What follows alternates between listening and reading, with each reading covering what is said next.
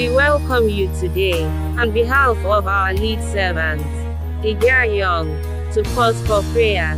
Don't forget, you can submit your prayer requests with no strings attached via our website at holyplacechurch.org. Reading in your hearing, the 55th division of Psalms, verses 12 through 14 KJV. For it was not an enemy that reproached me, then I could have borne it. Neither was it he that hated me that did magnify himself against me. Then I would have hid myself from him. But it was thou, a man mine equal, my guide, and mine acquaintance. We took sweet counsel together, and walked unto the house of God in company. May the Lord add a blessing to the hearers and doers of his holy word.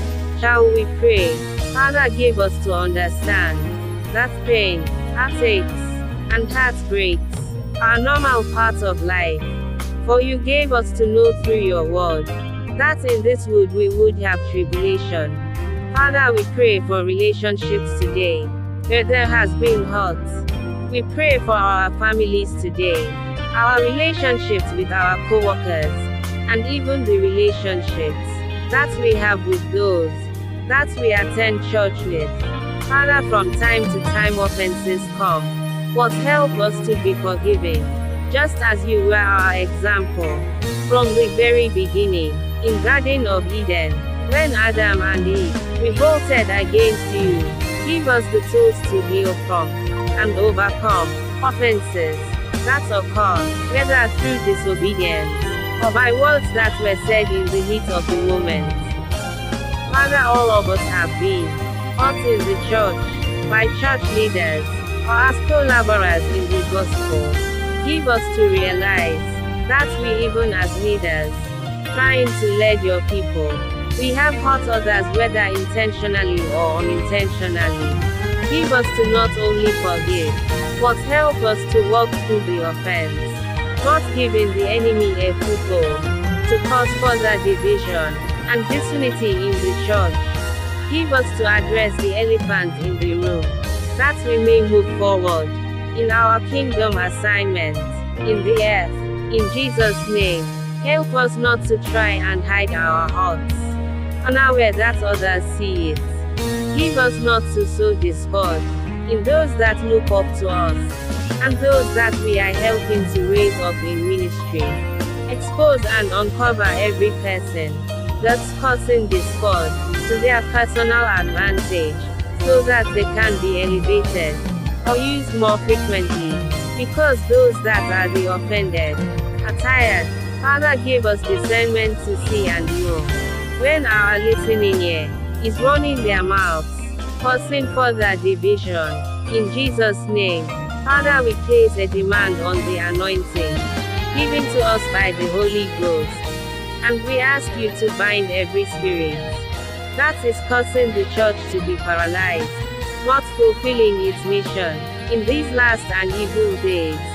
Give us to know that avoidance and the ignoring of emotional pain is impossible, and it also hinders the effectiveness of our ministries. Father, raise up those that can provide instruction and impartation that can help us overcome the hurts and pains of life and help us move forward in fulfilling and completing our kingdom assignment in the earth. In Jesus' name, help us to see the plot, plan, and scheme of the enemy, that we might change our perspective and find peace and purpose, even in the midst of our offenses.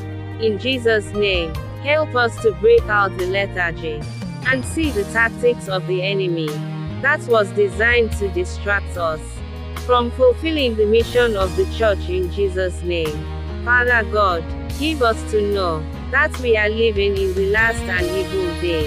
Give us not to leave the countless numbers of souls that have been left wounded within the church to die.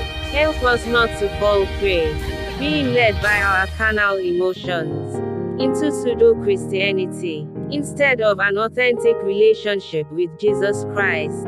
Father, remove every stumbling block and rock of offense that the church once again becomes a place of hope, healing, and refuge.